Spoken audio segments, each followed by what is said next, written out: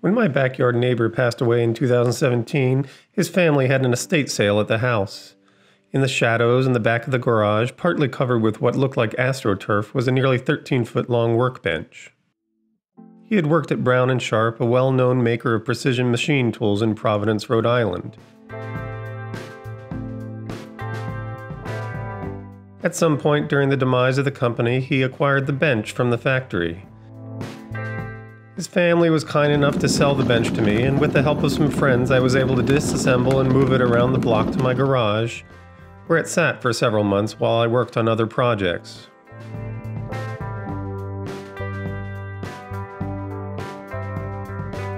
I started by cleaning up, priming, and painting the legs. The backsplash was quite firmly attached and I did some damage removing it. The restorer tool made quick work of removing years of finish and grime, revealing the beauty beneath. A coat of Minwax antique oil really brought out the character.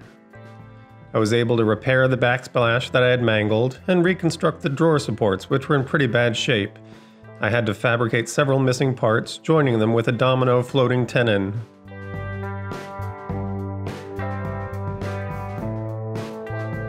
When the addition, including my basement shop, was built, they dug a foot deeper than the existing foundation and sloped the new up to the old. This was not usable space, but with some work, would be a perfect spot for the bench. This level line shows how much I needed to build up to get a flat surface. I started by building a form out of scrap sheet goods, scribing to the irregularities on the floor using a compass, and cutting to that line.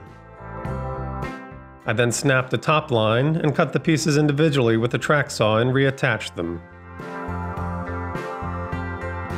I then made a form for a step from the playroom and fashioned a screed board and installed a piece of rebar anchored into the floor along with an expansion joint along the existing wall. And then it was time to finally mix and pour more than 30 bags of concrete.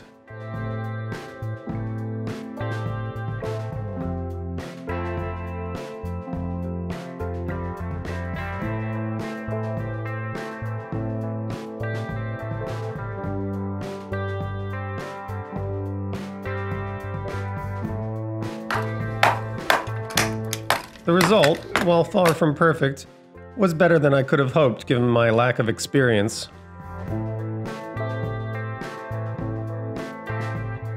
It was now time to get the bench into the basement. I loaded the top on the crane bow and rolled it around the side of the house, where it spent a few months functioning as an outdoor workbench for my jointer restoration project.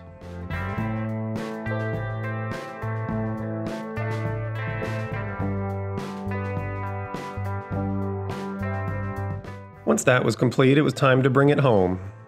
I set up the legs on the ledge and managed to manhandle the 13 foot top downstairs single handedly.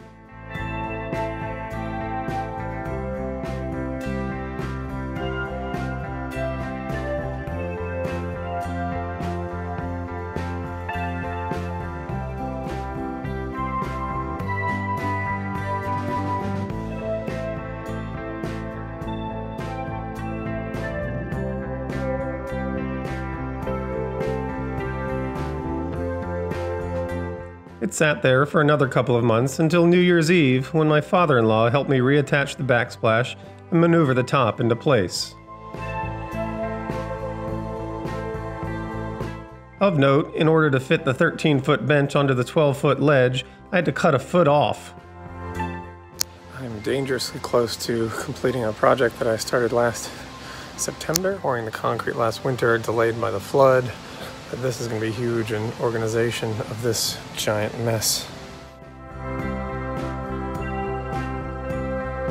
I ended up saving the offcut and turned it into a shelf.